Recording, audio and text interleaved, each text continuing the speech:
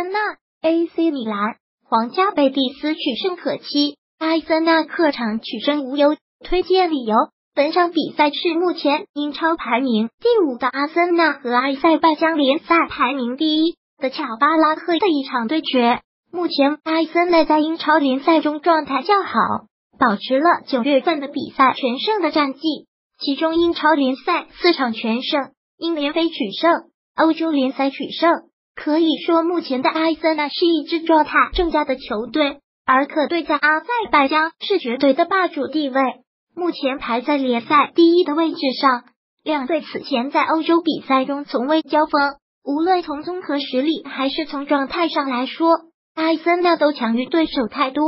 加上阵中厄齐尔、拉卡泽特、奥巴梅扬和姆希塔良出色的竞技状态，因此在对手较弱的卡巴拉克队面前。阿森纳取胜不成问题，因此看好本场比赛客场作战的阿森纳全取三分胜。AC 米兰主场取胜无悬念。推荐理由：本场比赛是欧洲联赛小组赛的第二轮，本场比赛意甲传统豪门 AC 米兰将主场对阵希腊超级联赛传统豪门奥林匹亚科斯。本赛季 AC 米兰在意甲联赛中排名第十一位，六轮联赛二胜三平一负。AC 米兰现在已经彻底沦为一个平庸的中游意甲球队。可对奥林匹亚科斯目前在希腊联赛中排名第五，四胜一负，表现较为出色。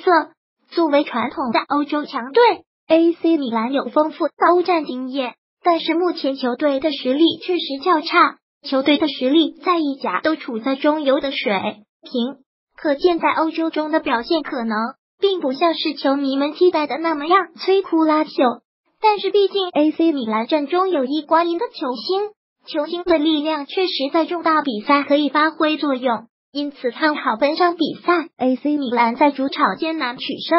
西甲劲旅欧战势不可挡，推荐理由：本场比赛是欧洲联赛小组赛的第二轮，目前主队皇家贝蒂斯在西甲联赛中排名第五位。在西甲前七轮的比赛中，三胜三平一负，打进五球丢五球，积十二分。可以说，从前几年还是降级的球队，到如今进入欧战，皇家贝蒂斯已经翻天覆地的变化。上赛季皇家贝蒂斯的成绩位列西甲第六，本赛季目前排名联赛第五，成绩继续进步。在西甲竞争激烈的环境下，能够位列第五，排在巴萨、皇马、马竞。巴伦西亚之后，可见球队的实力不容小觑。可对迪德朗日在卢森堡甲级联赛中排名第一，球队在欧洲联赛的附加赛中连续淘汰华沙军团和克鲁日，可以说本赛季实力在欧洲绝对不是鱼腩球队。本场比赛也是两队近年来的首次交锋，西甲球队一直在欧战中保持强势的地位，